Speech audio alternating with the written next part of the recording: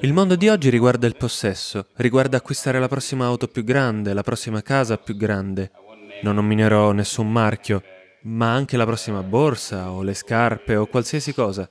Come, come concili questa etica dell'acquisizione a tutti i costi, a volte con grandi debiti, con il tipo di sistema di valori che lo yoga insegna o chiede di abbracciare?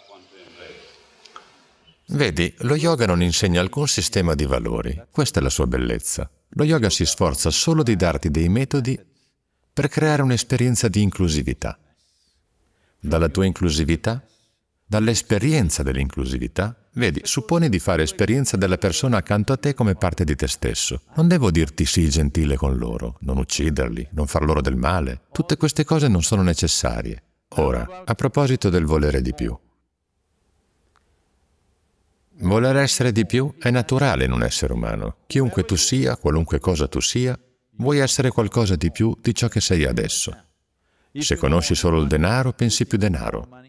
Se conosci solo le borse, più borse. Perché non puoi ingrandirle, perché poi le devi portare.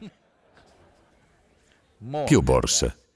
E se conosci la ricchezza, più ricchezza, se conosci la conoscenza, più conoscenza, se conosci l'amore, più amore. Qualunque sia la tua moneta.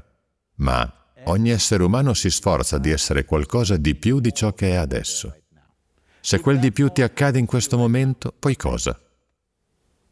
Ci siete? Di più. Se quel di più accade, poi di più, di più, di più, giusto?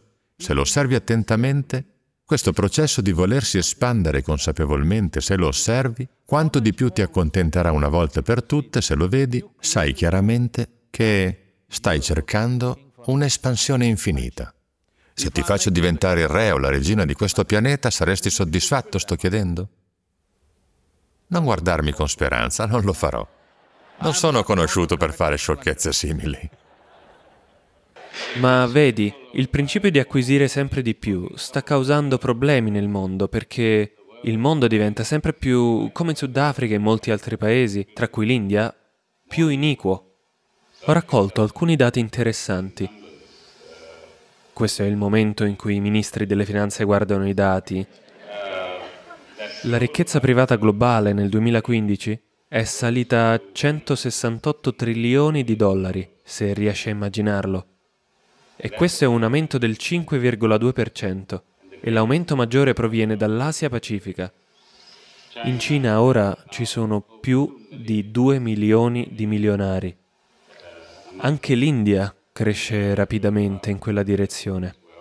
L'Asia Pacifica ha registrato un incremento della ricchezza del 13%, fino a 37 trilioni di dollari di ricchezza tra le fasce più alte. E I sindacalisti, per esempio in Gran Bretagna, dicono questo.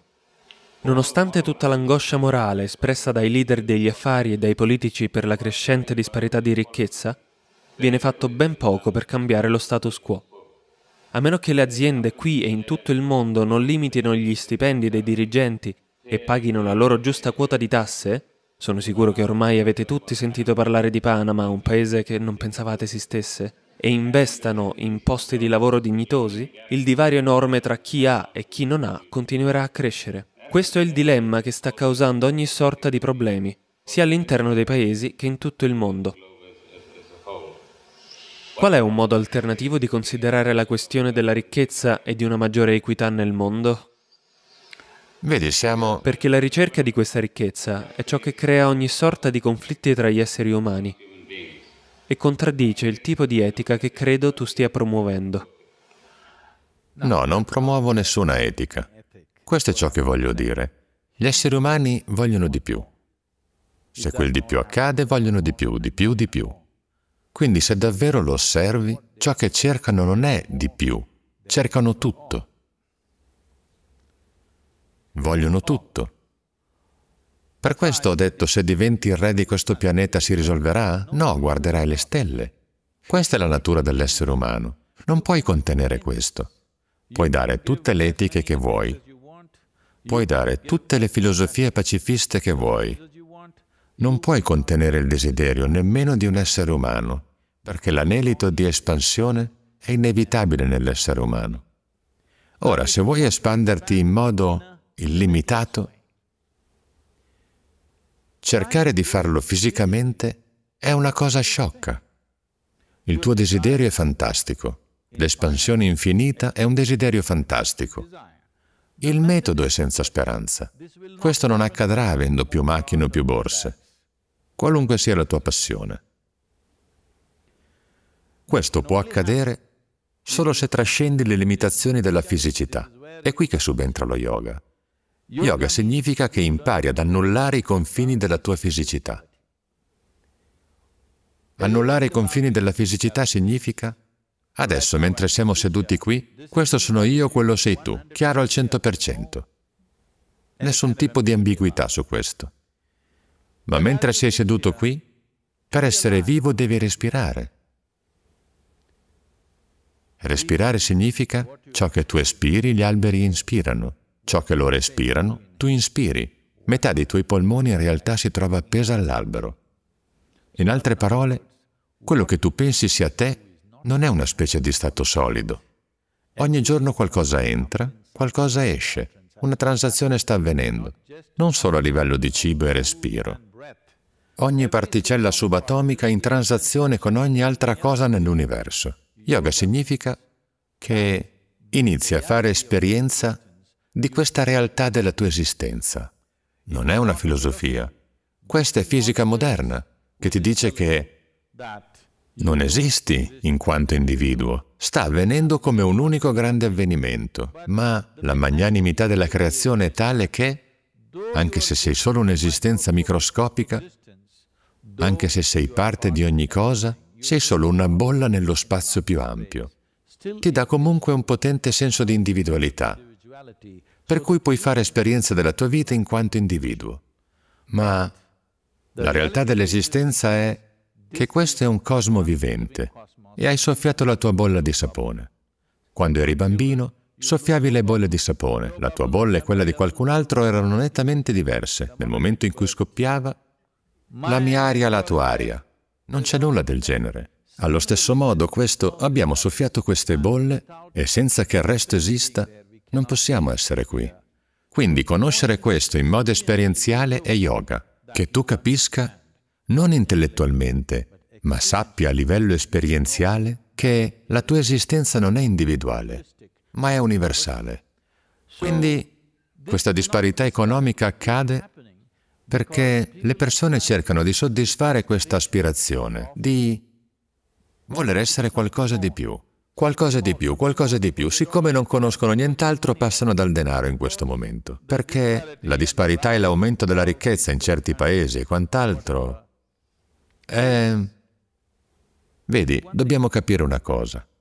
Negli ultimi cento anni nessuna nuova importazione è avvenuta in questo pianeta dall'esterno. Sei d'accordo con me? Sono avvenute delle piccole esportazioni, alcune navicelle spaziali altro sono andate, ma non c'è stata nessuna importazione, nessun grande asteroide è venuto a portarci qualcosa. Quindi siamo alla stessa quantità. C'è un episodio molto bello accaduto nel 2008. Quando la recessione era appena iniziata, ne parlavamo poco fa. Una delegazione americana è andata in Cina. È capitato che in quel momento mi trovassi al forum economico e, e ho visto che l'intera delegazione americana aveva, come dire, delle facce lunghe un chilometro, tutti in uno stato di depressione perché avevano qualche miliardo in meno rispetto a prima rispetto a quanto avevano quattro mesi prima, qualche miliardo in meno, quindi erano tutti infelici. Quindi mi hanno chiesto di occuparmi di una sessione intitolata Recessione e depressione al Forum Economico Mondiale. Allora ho detto, la recessione è già abbastanza grave. Ora avete la depressione. Ma il modo in cui abbiamo strutturato il nostro motore economico il modo in cui abbiamo strutturato l'economia di questo pianeta adesso è tale che se fallisci sarai depresso. Se hai successo, saremo dannati una volta per tutte. Sì.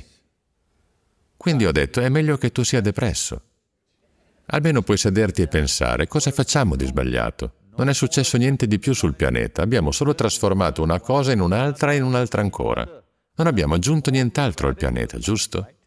Quindi una delegazione andò in Cina, una delegazione americana ed erano tutti in uno stato di depressione. Quindi un saggio cinese diede loro una lezione.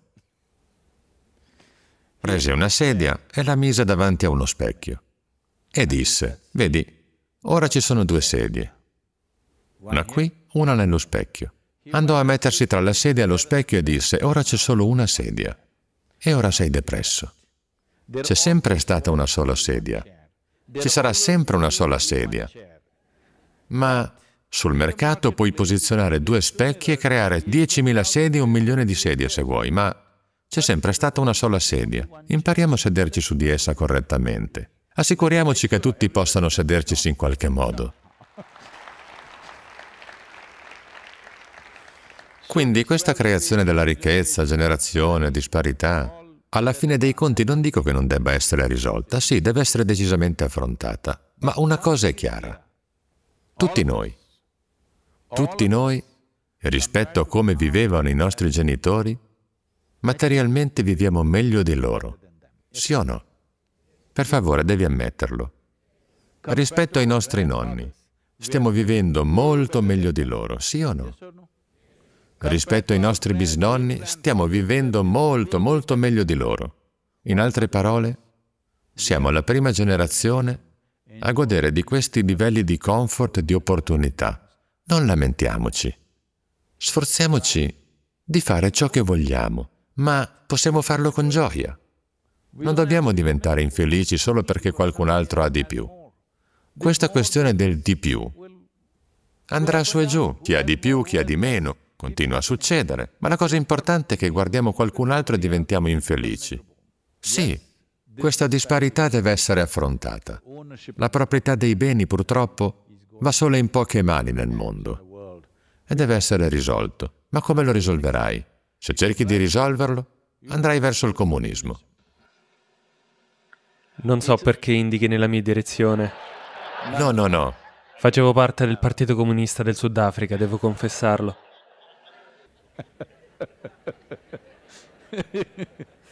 E ora posso indicare lui con decisione. Ora puoi indicare con decisione.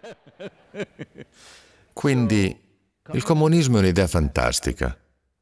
Non c'è idea migliore in termini di economia, che ognuno abbia secondo i propri bisogni, non la propria avidità. Davvero fantastica. Quando Marx ha avuto questa idea, molte persone in tutto il mondo, tutte le persone di buon senso si sono entusiasmate molto in tutto il mondo. Marx aveva previsto che gli Stati Uniti d'America sarebbero diventati il primo paese comunista del mondo. Quanto si sbagliava. La parola comunista è la cosa peggiore, la cosa peggiore che puoi dire a una persona negli Stati Uniti oggi. Soprattutto negli anni 50. Anche ora. Anche ora. Se vuoi davvero accusare qualcuno della cosa più orrenda, non lo chiami assassino, non lo chiami razzista, dici che è un comunista. Questa è la cosa peggiore. No, no, è successo anche in Sudafrica. Ma ora non sto indicando te. No, no, no. Ora indico qui sotto, vedi? Dico che è così che ci chiamavano in Sudafrica, che tu fossi presente o meno, vedi? Quindi è successo questo. Mark Twain era così entusiasta di questo comunismo che andò in Russia. Quindi camminava su una strada di campagna e vide un signore di campagna con due galline sotto braccio che camminava. Allora lo raggiunse e disse, Compagno, è vero che... Sei un comunista? chiese. Rispose, sì, sono membro del partito. È vero che se avessi due bungalow, ne daresti uno a qualcuno che non ce l'ha? Rispose, certo, sono membro del partito, lo farei. Lui chiese, se avessi due carrozze, ne regaleresti una a qualcuno? Rispose, certo, ho una carica nel partito del mio villaggio. Lo farei sicuramente. Se avessi due polli, ne daresti uno a qualcuno? Disse, che diamine, tutto quello che ho. Quindi quella che era un'idea fantastica è diventata una cosa ridicola nella pratica, perché le persone che non avevano nulla volevano condividere. Quando le persone che hanno qualcosa vorranno condividere, diventerà una cosa bellissima. Io ho molto e voglio condividere, diventerebbe una cosa bellissima nel mondo. Ma le persone che non avevano nulla, i più poveri delle società povere, si sono avvicinati al comunismo perché non avevano nulla da condividere. Mentre se i più ricchi fossero diventati comunisti, che mondo meraviglioso avremmo creato. Questa era la visione di Marx. Sfortunatamente, magari ne sapeva molto di economia, ma giudicò male gli esseri umani.